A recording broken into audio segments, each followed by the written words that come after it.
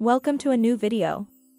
Today, we'll listen to a short story to improve your Spanish that will provide you with a powerful life lesson.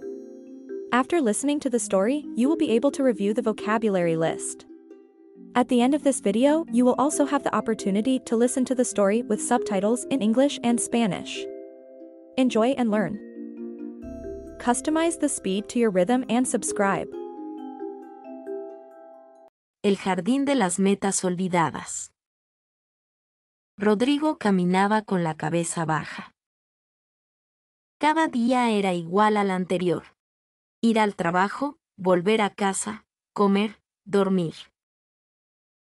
En su rutina, había olvidado la emoción de soñar, de luchar por algo más. Un sábado, ordenando el ático, encontró un viejo cuaderno. En la portada, con letras infantiles, se leía, Mis sueños. Tomó el cuaderno y comenzó a leer. Recordó al niño que soñaba con viajar por el mundo, escribir un libro y aprender a tocar el violín. Una punzada de tristeza lo invadió. ¿En qué momento había abandonado esos sueños? ¿Cuándo se había conformado con una vida gris? Cerró el cuaderno y salió al jardín. El sol de la tarde bañaba las flores marchitas y las hierbas crecidas. Rodrigo pensó que su jardín era un reflejo de su vida. Descuidado, olvidado. En ese instante, tomó una decisión. Buscaría un mapa, pediría días libres en el trabajo. Desempolvaría su vieja cámara de fotos. Iba a perseguir al menos uno de esos sueños olvidados. Esa noche, Rodrigo llamó a su hermana. Marta, ¿recuerdas cuando soñábamos con viajar a Italia? Preguntó con un atisbo de esperanza en la voz. Claro, respondió Marta sorprendida. ¿Por qué lo preguntas? Porque creo que ha llegado el momento de hacerlo, dijo Rodrigo con una sonrisa. En las siguientes semanas, la vida de Rodrigo se llenó de color. Buscó información sobre Italia. Compró una guía de viaje y aprendió algunas frases básicas en italiano la emoción volvía a formar parte de su vida.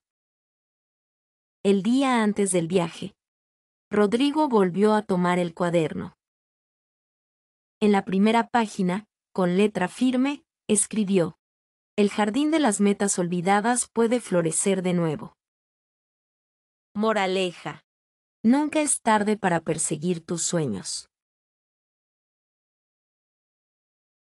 Now, let's go over the vocabulary.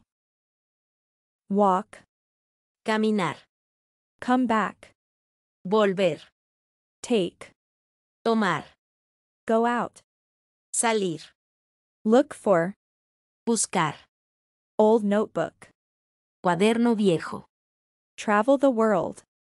Viajar por el mundo. Hint of hope. Atisbo de esperanza. Travel guide. Guía de viaje. Basic phrases. Frases básicas. Forgotten. Olvidado. Neglected.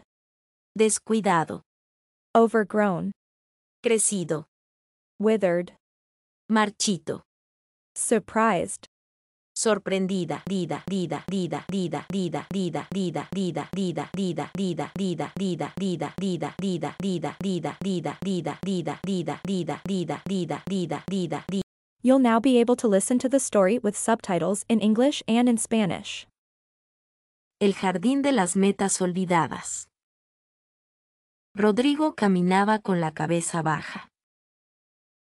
Cada día era igual al anterior. Ir al trabajo, volver a casa, comer, dormir.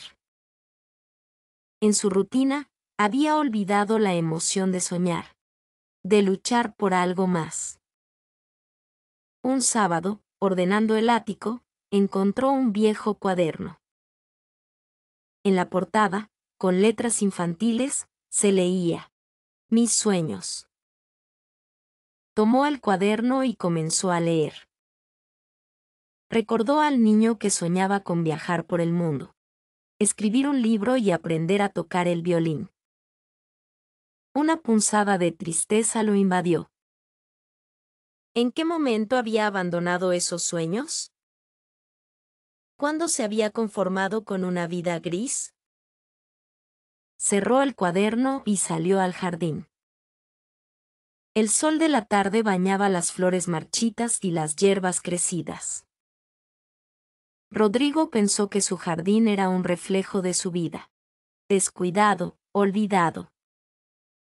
En ese instante, tomó una decisión. Buscaría un mapa, pediría días libres en el trabajo. Desempolvaría su vieja cámara de fotos. Iba a perseguir al menos uno de esos sueños olvidados. Esa noche, Rodrigo llamó a su hermana. Marta, ¿recuerdas cuando soñábamos con viajar a Italia? Preguntó con un atisbo de esperanza en la voz. Claro. Respondió Marta sorprendida. ¿Por qué lo preguntas? Porque creo que ha llegado el momento de hacerlo, dijo Rodrigo con una sonrisa. En las siguientes semanas, la vida de Rodrigo se llenó de color buscó información sobre Italia. Compró una guía de viaje y aprendió algunas frases básicas en italiano. La emoción volvía a formar parte de su vida. El día antes del viaje, Rodrigo volvió a tomar el cuaderno. En la primera página, con letra firme, escribió, El jardín de las metas olvidadas puede florecer de nuevo. Moraleja. Nunca es tarde para perseguir tus sueños. Thanks for your support. Thank you for watching today's video. I would really appreciate it if you could leave a comment with suggestions for future videos, so that future lessons can be more helpful for you. Replay the lesson to reinforce your listening skills. It would mean a lot if you could give this video a thumbs up and subscribe to the channel. See you next time.